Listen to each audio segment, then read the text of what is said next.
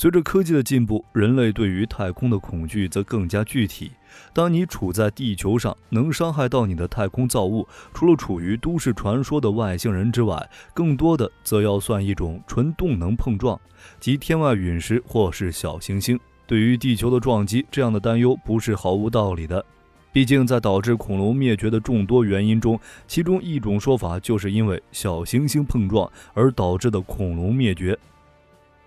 那么，面对这些来自宇宙的不速之客，人类究竟能否拦截并且防御，从而保证自身的延续？今天，火力军就带大家来一起论证一下这个问题。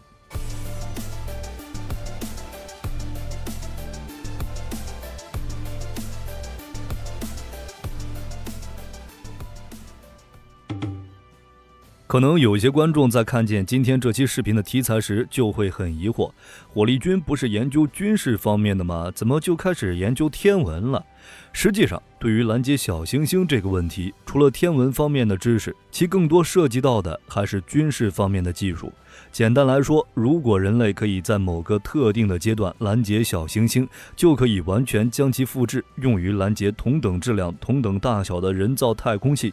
虽然现在的人类科技对于外层空间战争来说还为时尚早，但是对于太空的研究和争夺，早已经是各国提前布局的斗兽场。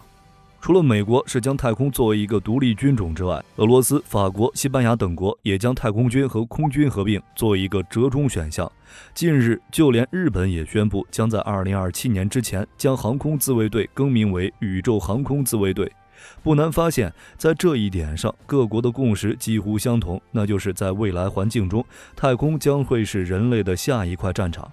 所以，乍一看，拦截小行星是个天文问题，但是它却是个实打实的军事问题。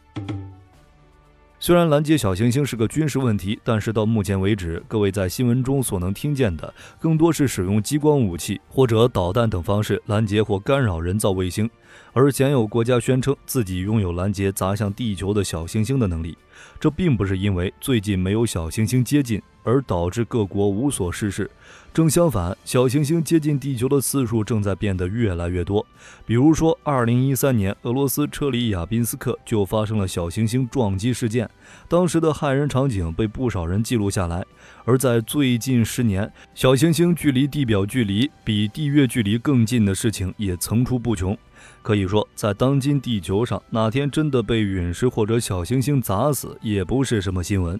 但是，明明有如此多骇人听闻的危险事件，却也不见得几个国家想办法拦截这些小行星，让他们离地球远点儿，防止人类和恐龙一样被直接灭绝。这是为什么呢？这主要是因为想要拦截小行星，具有非常多的困难因素。首先，大家都知道，你想打中一个目标，就必须先看到它。很遗憾的就是，人类即使有拦截小行星的技术，也无法观测到。还是拿一三年车里亚宾斯克陨石举例，在这次事件中，撞击物是在毫无预警的状态下直接进入大气层的。这并不是人类没有对它观测和预警，而是它的辐射点靠近于太阳，整颗小行星被太阳遮得严严实实的，效果就类似于早期红外格斗弹。分不清太阳和飞机尾喷口一样。由于人类目前观测太空天体多使用光学设备，比如众多的地面望远镜和太空望远镜，所以要从太阳的图像中分离出一颗小行星的图像，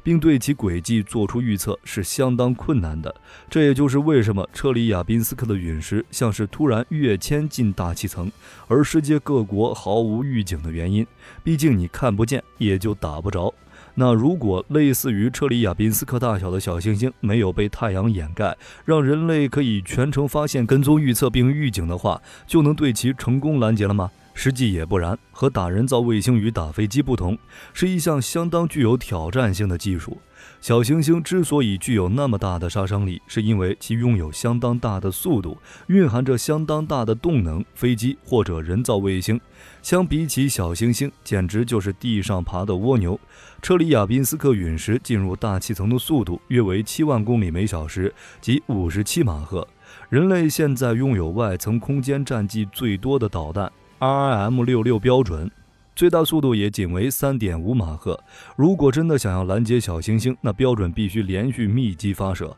以数量优势去堵那仅有零点零零几秒的拦截窗口，难度大约等同于你手里抓了一把石子，然后要用它打下从你头顶凌空飞过的 F 二二。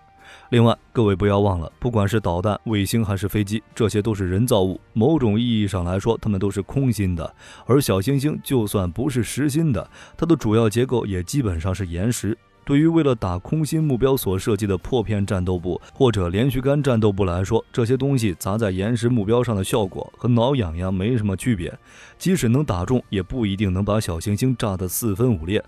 别忘了，这个假想敌还只是直径约十八米、重约九千一百吨的目标。如果遇上更大的家伙，恐怕人类真的要束手无策。那大气层内无法拦截，大气层外行不行呢？其实这个问题只需要一句话来解决，那就是小的不用拦，大的拦不了。对于比较乐观的情况来说，使用可重复使用航天器，携带热核武器，在外层空间直接爆破小行星，并没有什么技术问题。对于一个雷达反射面积如此之大的家伙，即使导引头是瞎子，也能直接一头撞上去。并且以现在人类的核技术而言，现有的地球核武器库存完全可以支撑成百上千次这样的拦截任务。但是问题还是那个问题：如果遇到非常大的，又或者是材质特别坚硬的小行星，人类目前的核武器无法将其完全爆破，那么各位可能就真的只能先吃点好的，然后再迎接人类的末日了。可能刚刚的论述有些耸人听闻，但是也请各位观众不要放弃生的希望，因为对于现代人类科技来说，想要拦截小行星，真的就是只差个钱的问题。而怎样拦截小行星，从体系上来说，就和现在人类建立的弹道导弹防御体系差不多。对于观测和预警上来说，虽然雷达用不上，但是好歹使用光学观察的设备可以密集部署，形成早期预警网络。比如，美国国会要求 NASA 到2020年要发现百分之九十以上的直径大于一百四十米的近地小行星。在这个计划的推动下，NASA 部署了广域巡天望远镜 NEWIS，并且下一代 NEOCAM 空间小行星观测望远镜任务在当下也在逐步推进。除此之外，一些人造飞行器的小行星探测任务，比如 NASA 的尼尔·舒梅克号、黎明号。Osiris-Rex 探测器、日本隼鸟号、隼鸟二号、ESA 的罗塞塔号等，也是早期预警网络的先行者。这种笨办法就是使用太空望远镜为支点，人造卫星为补充，形成一张拦截网，从而提供对于小行星的早期预警以及威胁度分别和实时跟踪。当然，这个早期预警网必须足够大，并且人类的拦截手段也必须达到预警扑到哪里，拦截就打到哪里。因为小行星的速度飞快，如果我们能在太阳系的天王星附近发现一枚冲着地球飞来的小行星，由于传输延迟，那么等到地球上发现这颗小行星，很可能这颗小行星已经飞过了土星轨道，到达地球也仅需二三十年的光景。这对于人类来说，并不是挣扎的时间，而是可以直接宣布等死的丧钟。远端的拦截能力势在必行，这就必须要建设外太空行星上的拦截基地。人类的航天器也必须要在火星以外的轨道进行战斗巡逻，才能对小行星做到及时发现、及时摧毁。在这个阶段，SpaceX 的可回收火箭技术，尤其是重型可回收火箭和可回收航天器，是整个防御体系框架的重中之重。根据历史的经验来说，要想让土星五这种重达三千吨的火箭将其设计的一百一十八吨有效载荷安全转移到近地轨道，那整个 NASA 上下至少要准备一年的时间，并且这个大家伙还是一次性的消耗品。而可回收火箭技术允许人类在一个长时间的发射窗口内，通过密集发射任务，一次性向地球同步轨道运送足够的人员和设备。